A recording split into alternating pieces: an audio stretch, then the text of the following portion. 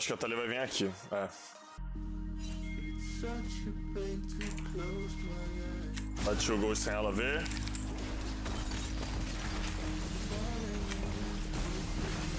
Ai. It seems that Varus is not a very good pick in the current meta. However, believe me, there are still many players who can hyper carry even the most challenging games. Today, we are going to take a closer look at how they do that. Make sure to leave a like, and let's get back to this guy who takes everyone down one by one. And the best part is that he's not even moving.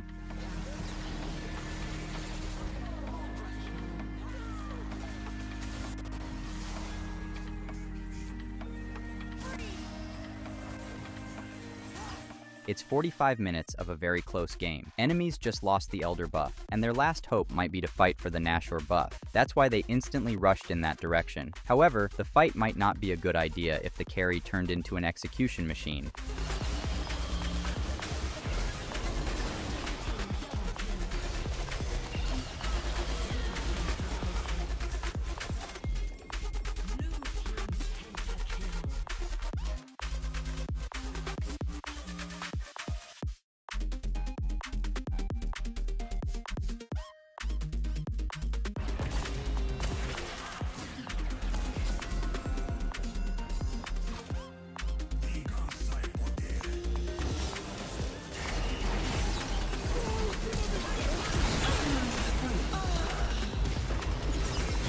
Something is not going right in this game. I guess we can all realize why the red team is losing so hard when there is a huge 5v5 battle, but no one even cares to take down the first Varus when he stands almost in the middle of the fight. But I guess Karma was more important. Oh, I'm taking it right there now.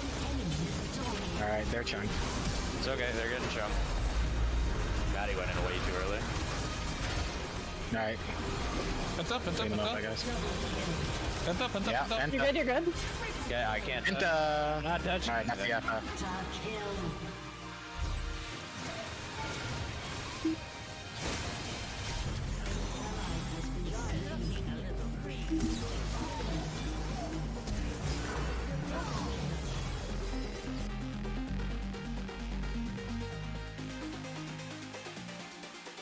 Let's not forget that AP Varus is still alive, and now with Storm Surge, he is even more broken. Hyun is playing on the top lane, and Varus is really free farm for the enemy Twisted Fate. All he needs to do is teleport behind and one-shot him down. Otherwise, it might not be so easy anymore.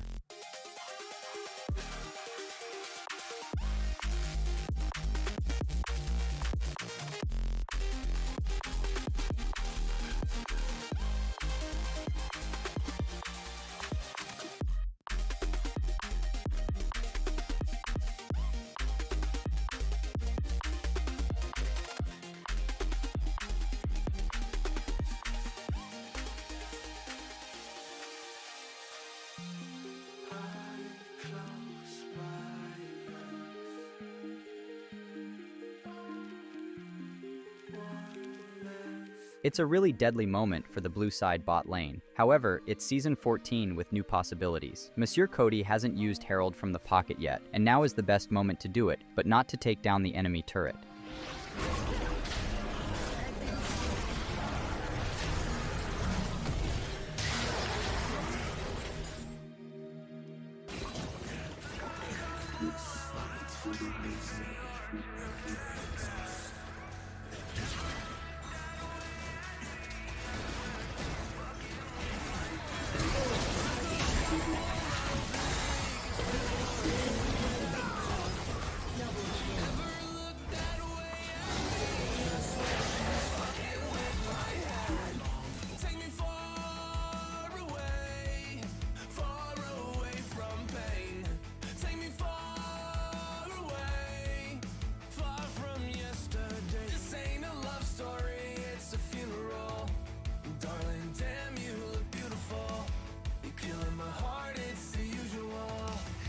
This time, Leshek decided to make a risky move by trying to solo take the dragon. Even if the red team is hard split, there is still a Master Yi alive, hanging around. And if that's not enough, Master Yi is currently the most fed champion in the enemy team.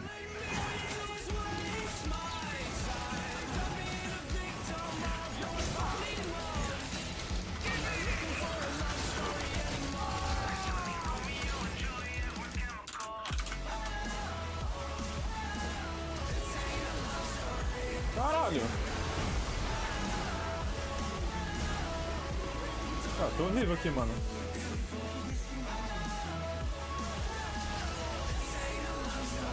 Tá, foda-se.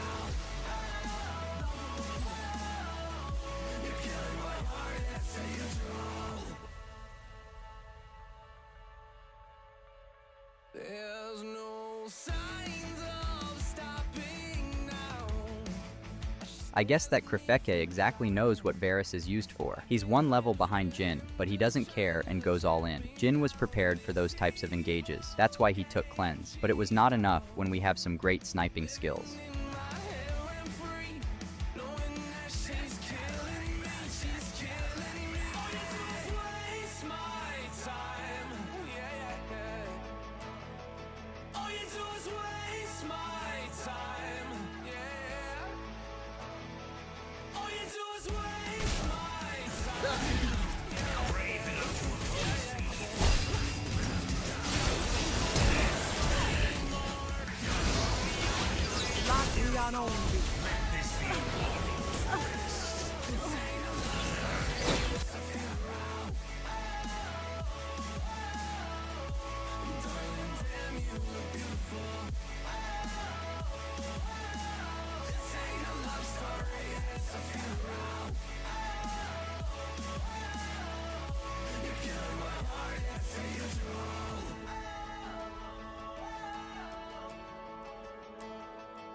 It was not the best timing to engage as Thresh, but apparently, he didn't know that there is an enemy Kha'Zix nearby. But I guess everyone would love ganks like this one, where everyone wastes time on the support, and the ADC gets 3 free kills.